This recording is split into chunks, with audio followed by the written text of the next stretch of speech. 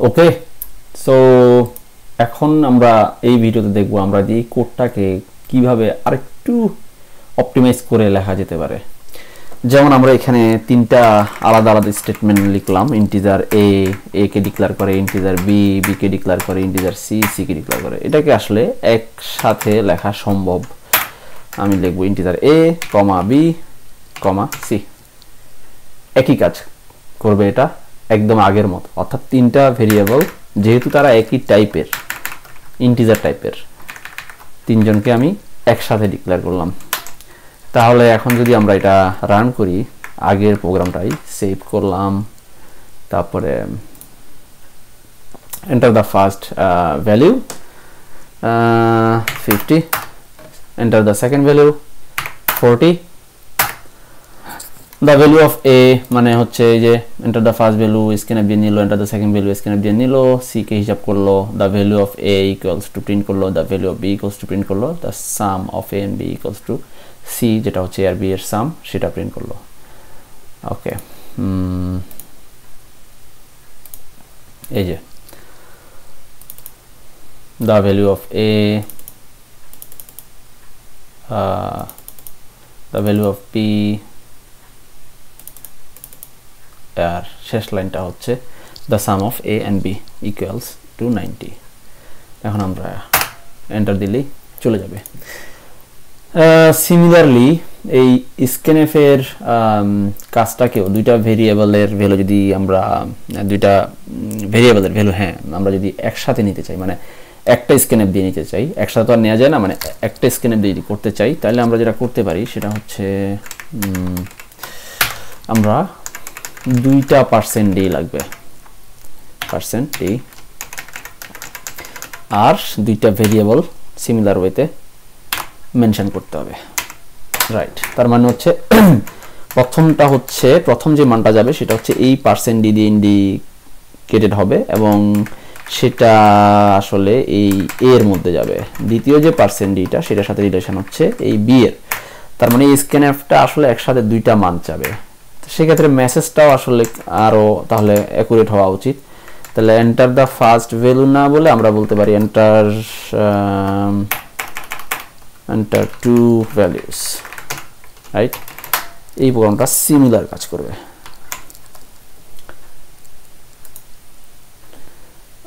Sorry এটা আসলে আমাকে আবার নতুন করে কম্পাইল করতে হবে, যেহেতু আমি কিছু চেঞ্জ করছি, তাহলে আমাকে build how about build and run yeah enter two values so আমি দিলাম দশ এন্টার দিলাম, তারপরে দিলাম বিশ।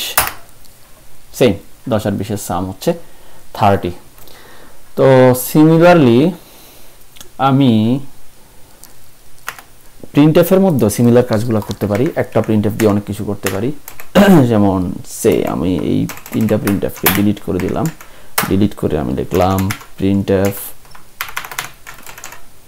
um, value of a um, equals to percent d. Then say আমি একটা কমা দিলাম। তারপরে বললাম value of B equals to percent D আমি একটু পরে এক্সপ্লেন করতেছি। Comma sum equals to percent d comma a comma b comma c. ওকে তাহলে এই এই প্রিন্ট এফটা কীভাবে কাজ করবে? যেভাবে প্রিন্ট এফ কাজ করে, একই রকম। সে ডাবল কোটেশনের মধ্যে যা যা পাবে, হুবহু তাই প্রিন্ট করবে অ্যাকসেপ্ট পার্সেন্ট ডি পাইলে কী করতে হবে আমরা জানি। সো আমরা দেখি, এই যে প্রথমে সে ভি পাবে, এটা প্রিন্ট করবে তারপরে সে ভ্যালু অফ এ ইকুয়ালস মানে এখানে একটা স্পেস আছে, সেটাও সে প্রিন্ট করবে ইকুয়ালস এটাও সে প্রিন্ট করবে। যখন সে পার্সেন্ট ডি পাবে, কি করবে? কারেসপন্ডিং ভেরিয়েবলের ভ্যালু সে প্রিন্ট করবে। তো এইটা যেহেতু প্রথম পার্সেন্ট ডি সে প্রথম যে ভেরিয়েবলটা এখানে আছে, সেটা হচ্ছে এ রাইট সেটার ভ্যালু প্রিন্ট করবে। তার মানে আউটপুট পাবে the value of A equals to whatever the value of A is মানে যেটা হোয়াট এভার ইউজার যে ভ্যালুটা দিছে। তো এরপরে সে কি করবে? এই যে সে এটা প্রিন্ট করার পরে সে কি দেখল? একটা কমা দেখল। সে তার মানে কমাটাও প্রিন্ট করে ফেলবে। কারণ রুলটা কি? এই ডাবল কোটের ভিতরে যা আছে পার্সেন্ট ডি ছাড়া তাই প্রিন্ট করবে। তারপরে সে একটা স্পেস দেখল, সেটা প্রিন্ট করল।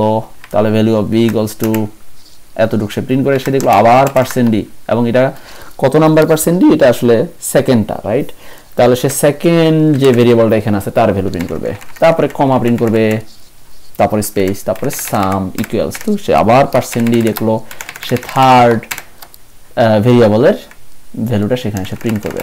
তাহলে এখন দেখি আমরা রান করে, যেমন আমরা যদি বিল্ড বিল্ড অ্যান্ড রান দিই এন্টার টু ভ্যালুস আমি দিলাম টেন আমি তারপরে দিলাম thirty okay value of a equals to 10 comma value of b equals to 30 এবং সাম equals টু 40 আমরা যদি আউটপুটটাকে এরকম চাই যে না value of a equals to print হবে মানে ভ্যালুটা প্রিন্ট হবে, তারপরে নিউ লাইনে যাবে।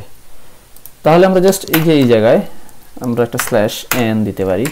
আর স্পেস তো দরকার নাই নিউ লাইনে চলে গিয়েই প্রিন্ট হবে। তারপরে এই জায়গায় আর একটা স্ল্যাশ এন তার মানে value of A equals to ভ্যালুটা প্রিন্ট হবে। কার্সরটা পরের লাইনে চলে যাবে। পরের লাইনে এই জিনিসটা প্রিন্ট হবে। কার্সরটা পরের লাইনে চলে যাবে শেষ লাইনে এই জিনিসটা প্রিন্ট হবে okay save then build and run enter two values okay mm, i don't know 40 60 see value of a equals to 40 value of b equals to 60 sum equals to 100 okay এই গেল আর একটু আমরা অপটিমাইজেশন শিখলাম। এখন আমরা যে শেষ প্রোগ্রামটা করব এই সপ্তাহে, একেবারে সিম্পল এটা এখন সবাই পারবে। সেটা হচ্ছে একটা সিম্পল প্রোগ্রাম যে একটা প্রোগ্রাম যেটা ইউজারকে বলবে যে মানে প্রোগ্রামটা হবে যে তাকে একটা সার্কেল মানে বৃত্ত বাংলায় যেটা আমরা বলি, তার রেডিয়াস তা যদি তাকে ইনপুট দেওয়া হয়, সে তার এরিয়াটা বের করতে পারে। ওকে একদম সিম্পল তো আমাদের কি কি লাগবে? ইন্টিজার দুইটা ভেরিয়েবল লাগবে। একটা হচ্ছে, আমি যেটার নাম দিলাম অ্যাকচুয়ালি রেডিয়াস আর আরেকটা ভেরিয়েবল লাগবে যেটার মধ্যে আমরা এরিয়ার ভ্যালুটা রাখব, আমরা সেটার নাম দিলাম এরিয়া এখন কেউ একজন কোয়েশ্চেন করতে পারে, এই যে নামকরণ, এটা কি আসলে তার মানে আমি যেভাবে খুশি সেভাবে করতে পারি? ইয়েস এক্সেপ্ট ছোটোখাটো দুই একটা কন্ডিশন মনে রাখলেই হবে। এবং নামকরণটা আসলে এই রকমই হওয়া উচিত মিনিংফুল হওয়া উচিত, যাতে আপনার প্রোগ্রামটা কেউ যখন পড়বে, সে বুঝতে পারে আসলে কোন ভেরিয়েবলটা আসলে কি করার চেষ্টা করতেছে। তো আমরা এই যে ভেরিয়েবলের নাম দেওয়ার কথা বলতেছি, সামনে আমরা ফাংশনের নাম দেওয়ার কথা বলব বা আরও এরকম সিমিলার জিনিস আমরা বলব। এই যে নামকরণ বা আমরা নাম দিই, এই জিনিসটাকে ইন জেনারেল বলা হয় আইডেন্টিফায়ার আবার বলতেছি, এই জিনিসটাকে বলা হয় আইডেন্টিফায়ার এখন আইডেন্টিফায়ারের একটা নিয়ম হচ্ছে মানে আপনি নামকরণটা কীভাবে করতে পারেন। ওই যে আমরা জীববিজ্ঞানে পড়তাম না, যে বৈজ্ঞানিক নামকরণের কিছু নিয়ম টিয়ম ছিল। তো এখানে এরকম কিছু নিয়ম আছে, ওগুলা ফলো করে আপনি যা খুশি তা করতে পারেন। নামকরণের নিয়ম হচ্ছে নামের মধ্যে অ্যালফাবেট থাকতে পারবে উইচ মিনস ছোট হাতের এ থেকে জেড বড় হাতের এ থেকে জেড থাকতে পারে, যে কোনো কম্বিনেশন আরেকটা জিনিস থাকতে পারে, সেটা হচ্ছে ডিজিট জিরো থেকে নাইন। তার মানে আমি এ থেকে জেড আর জিরো থেকে নাইন এই জিনিসগুলাকে দিয়ে যেভাবে খুশি নামকরণ করতে পারি। আরও একটা জিনিস থাকতে পারে, সেটা হচ্ছে আন্ডার স্কোর এই যে ধরেন এটা তো হইল ড্যাশ বা হাইফেন রাইট আর এটা হইল আন্ডার স্কোর তাই না? এই আন্ডার স্কোর থাকতে পারে নামের মধ্যে। এই তিনটা জিনিস দিয়ে যেভাবে খুশি নামকরণ করা যাবে, ছোট্ট একটা এক্সেপশন আছে, সেটা হচ্ছে প্রথম ক্যারেক্টারটা ডিজিট হতে পারবে না। ওকে, তাহলে আরেকবার রিপিট করলে। এ থেকে Z lower case upper case doesn't matter digit that means zero থেকে নাইন আর হচ্ছে আন্ডার স্কোর এই তিনটা জিনিস দিয়ে যেভাবে খুশি নামকরণ করা যাবে, একমাত্র কন্ডিশন হচ্ছে প্রথম ক্যারেক্টারটা ডিজিট হইতে পারবে না। তার মানে একটা ভেরিয়েবলের নাম আসলে ইন্টিজার মাই ইমেল অ্যাড্রেস এটা হইতে পারবে। কারণ এখানে আমি নিয়মের কোনো ব্যতিক্রম করি নাই। আমি শুধু এ বি সি ডি এইসব ইউজ করছি আর আন্ডার স্কোর ইউজ করছি। My email address underscore one এটাও ওকে তাই না? তার মানে ডিজিট আন্ডার স্কোর আর অ্যালফাবেট একটা জিনিস হইতে পারবে না, সেটা হচ্ছে এই যে শুরুতেই যদি আমি দিই জিরো অথবা নাইন এটা হইতে পারবে না। প্রথম ক্যারেক্টারটা ডিজিট হইতে পারবে না। ব্যাস, এই হলো নামকরণের নিয়ম। এখন তাহলে আমরা তো এখানে সবই ঠিক আছে রাইট রেডিয়াস ওকে এরিয়া এখন আমরা ইউজারকে বলব enter the enter the radius তখন ইউজার মান চা তখন প্রোগ্রাম যেন মান চাইতে পারে, সেটার জন্য আমরা কী করব? স্ক্যানের এবং কী টাইপের সেটা পার্সেন্ট ডি